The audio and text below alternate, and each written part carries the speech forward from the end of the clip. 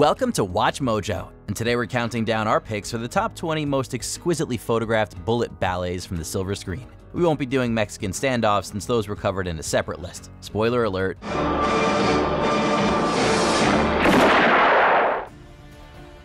Number 20, Blaze of Glory, Butch Cassidy and the Sundance Kid. There's something wonderfully fatalistic about the finale of 1969's Butch Cassidy and the Sundance Kid. I never shot anybody before.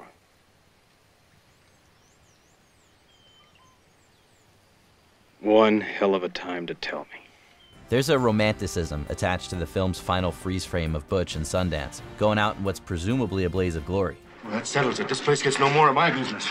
The audience knows full well that this affable pair is doomed. Butch and Sundance are clearly outnumbered and outgunned, and we don't need to see the outlaws cut down by a hail of bullets to know that. Ultimately, this is exactly what will happen in the end. The idea that somehow Butch and Sundance just might make it out alive is forever ingrained in that hopeful side of our brains, even if this iconic closing shootout tells us otherwise. For a moment, I thought we were in trouble.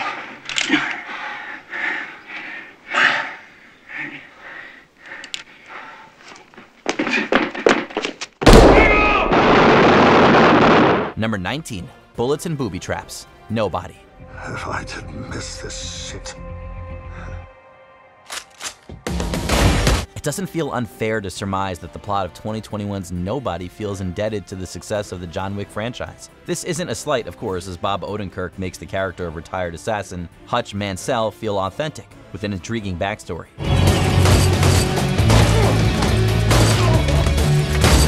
He also possesses an impressive set of skills to go along with said backstory, as evidenced by this climactic shootout that takes place within a booby-trapped building.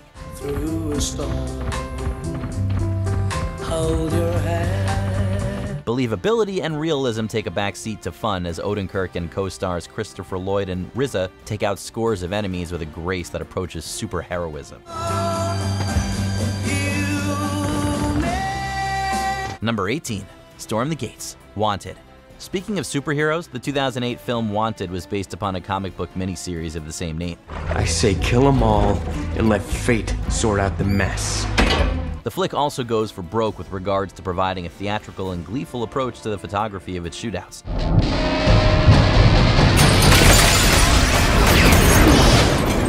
Specifically, the scene where Wesley Gibson goes buck wild with bullets is hyper stylized in appearance but impressively composed with effective slow motion sequences. The CGI effects definitely date wanted, but this warehouse scene defies the film's 2008 release date and endures today as a kinetically filmed shootout that is still fun to watch today.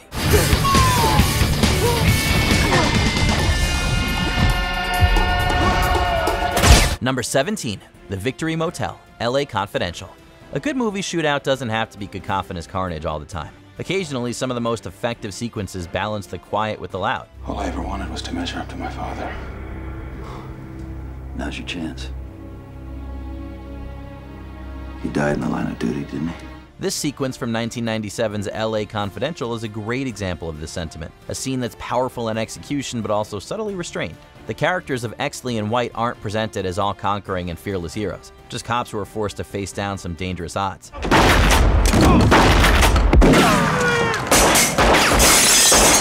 The Victory Motel shootout feels more realistic as a result, giving the audience moments of nail-biting downtime to go along with the bursts of bullet-riddled energy that punctuates the action scenes. Number 16, Through the Ceiling, The Boondock Saints.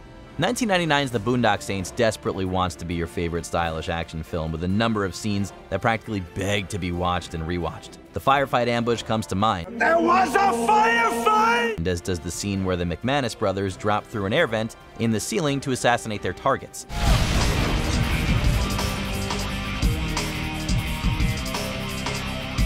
It's all slow motion and late 90s trip hop as the McManuses tumble down in an awkward position, yet still manage to coolly take out everyone in the room. They even make time for a little prayer.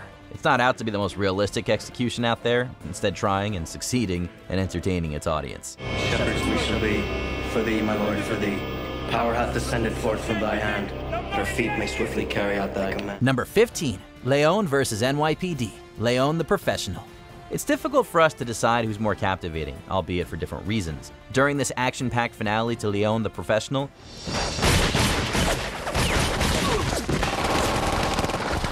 Gary Oldman is pure wildness, with his performance as DEA head Norman Stansfield. Meanwhile, Jean Reno's Leon is cool and calculated as he goes up against an invading force of NYPD. Don't move. This is another fatalistic situation where the ESU team clearly outnumbers Leon, and we're fairly sure that the assassin isn't going to make it out of this one. However, the final gift from Matilda that Leon gives to Stansfield sends this scene off with a literal bang that feels bittersweet yet satisfying. Number 14, Bar Shootout, Desperado. If you were to look up the word cool in the dictionary, then it's highly likely that you just might find a description of this scene from Robert Rodriguez's Desperado. Not yet. This isn't a try-hard sort of cool either, but the effortless sort that you find from people who just know how to make things look good. This bar shootout owes a lot to classic spaghetti westerns like Django and Sabata, right down to Antonio Banderas' El Mariachi, hiding guns in a mysterious case. As a result, the bloodshed here is visceral but stylish, a nice balance between the uncanny and the exciting. The bar shootout is a deadly dance of death, with El Mariachi coming out victorious. You missed me! Number 13, Nightclub Assassin, Collateral. The characters of innocent cab driver Max and determined hitman Vincent are already deep into it when this nightclub sequence happens during the 2004 film Collateral. Director Michael Mann's known ability to stylishly and captivatingly direct film thrillers is set on full display as Vincent makes his way through the crowded nightclub, executing his victims with pinpoint accuracy.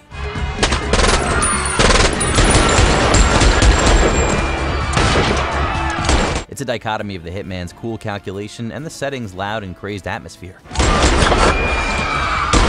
This is the sort of scene where it all comes together script, actors, and director in order to create memorable movie magic. Number 12, over the top action, Hot Fuzz. Morning. The entirety of Hot Fuzz plays with established action movie tropes, subverting audiences' expectations of them via some meta commentary about how protagonists in these genres are supposed to behave. As a result, the film's final shootout serves as a gloriously over the top homage to the buddy cop films that are enjoyed so much by Nick Frost's character Danny. Frost and his co star Simon Pegg get to engage in all the behavior seen in films like Point Break, only for real and against some deadly adversaries. Edgar Wright's handling of the self referential is executed perfectly, and this shootout manages to be both exciting and entertaining. You're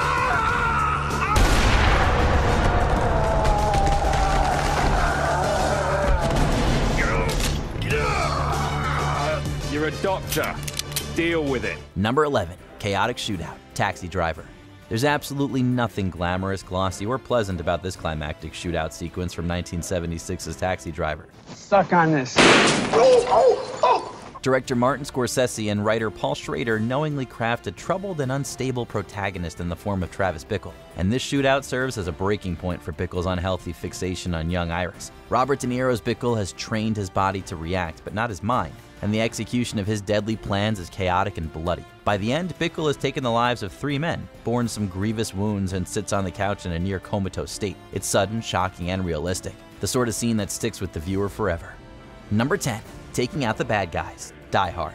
For many movie fans, Die Hard is a perfect action movie. Do you really think you have a chance against us, Mr. Cowboy? Yippee-ki-yay. It's difficult to disagree with this sentiment too, especially when you take into account the care and thought put into executing the set pieces. John McClane's battle against his antagonists at Nakatomi Plaza is one that ebbs and flows between thoughtful planning and breakneck execution. As a result, the quiet bits of McClane sneaking around are punctuated by scenes like his shootouts with brothers Tony and Carl. Another shootout where McClane is cornered by Hans Gruber's men leads to the wince-inducing scene where the detective is forced to pick shards of broken glass from his foot. Shoot the glass. Number 9, Union Station Shootout, The Untouchables. It takes a master the level of a Brian De Palma in order to construct a scene as complex as the Union Station shootout sequence from 1987's The Untouchables. Is there some problem I can help you with? De Palma's reputation for long shots and tension building takes is put on full display as Special Agent Elliot Ness and George Stone arrive at Union Station. Resulting shootout between the pair and Al Capone's men is a thing of nail biting beauty, as both sides trade shots while a runaway baby carriage hangs in the balance. The end results feel visually indebted to the Odessa step sequence from 1925's Battleship Potemkin, but the 1980s update gives the Untouchables a legacy all its own.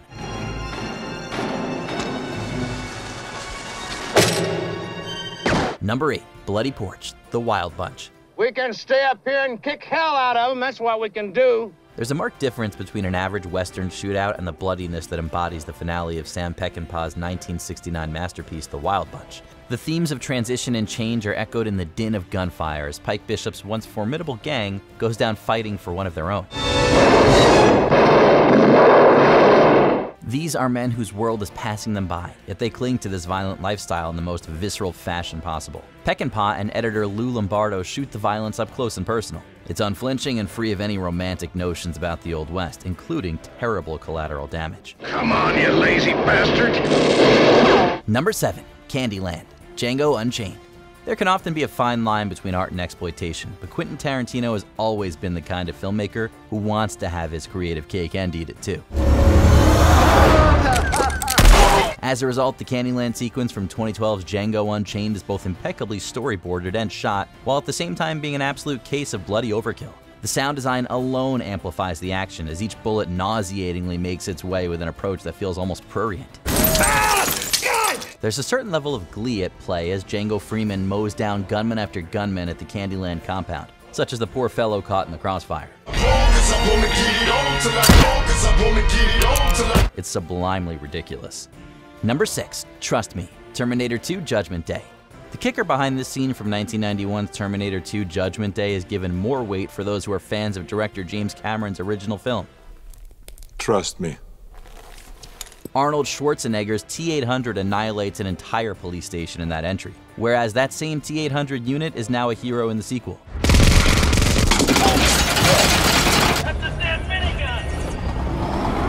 Schwarzenegger's android has been tasked with John Connor not to kill anyone, so he doesn't. But that doesn't mean that he can't absolutely mow down police cars, background scenery, or the kneecaps of an entry guard. In the words of the T-800 itself, he'll live. Number 5. Red Circle Shootout, John Wick. Who knew that this 2014 film from director Chad Stahelski would grow into the fan favorite franchise it's become in the modern day? Are you here on business, sir? Afraid so, Francis. Why don't you take the night off? Stahelski's career in the field of movie stunt work was likely one of the reasons why the choreography here is so stellar, as evidenced by this scene from the Red Circle nightclub. There's a nice balance of close contact fighting and gunplay during this sequence, but the action really ramps up once the bullets start flying.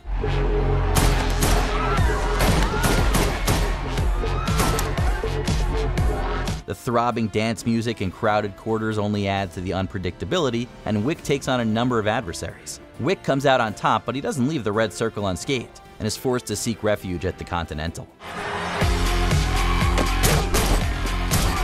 Number 4. Compound Attack Scarface. They're all over the place! Get out of here! The finale of this climactic scene from Scarface may be embedded in pop culture history today, but let's also not forget all of the other moments from the compound attack that helped make this sequence so incredible. Say hello to my little friend! There's a bravado to Tony Montana's posturing in the face of overwhelming odds, a confidence that makes the audience think that maybe, just maybe, he might make it out of this assassination attempt alive.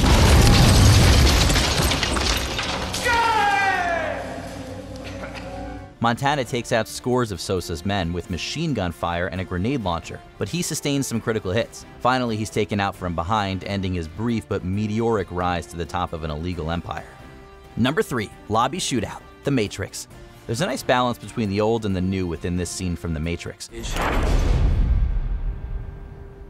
Holy shit! Classically orchestrated gunplay and martial arts meld with stylish slow motion and a lot of dated late 90s fashion to create a thrilling shootout. Freeze!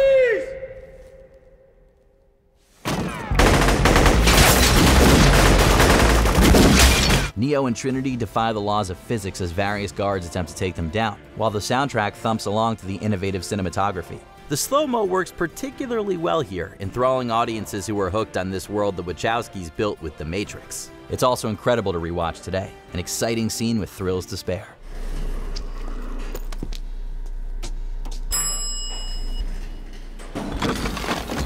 Number 2. Tea House Shootout Hard Boiled. It's difficult to pick out exactly which shootout from John Woo's 1992 masterpiece Hard Boiled to include on our list.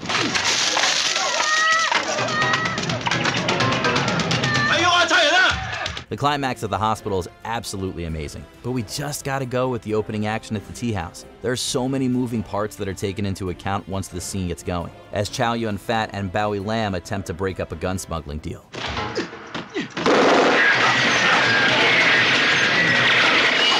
There's a ton of complicated choreography, fire, explosions, the works. Additionally, the tea house scene gets the wheels of the film's plot properly in motion, and both Lam and Yun Fat do a lot of great acting with their eyes and body language throughout the tense shootout. Before we continue, be sure to subscribe to our channel and ring the bell to get notified about our latest videos. You have the option to be notified for occasional videos or all of them. If you're on your phone, make sure you go into your settings and switch on notifications. Number 1. In the Streets Heat. The actors who took part in this genre defining shootout from Michael Mann's Heat did so with a lot of hard work under their belts. I don't know how to do anything else. Neither do I. I don't much want to either. Neither do I. The proof is in the pudding, too, since the end results of this shootout were so effective that reportedly the United States Marines have cited it in their training.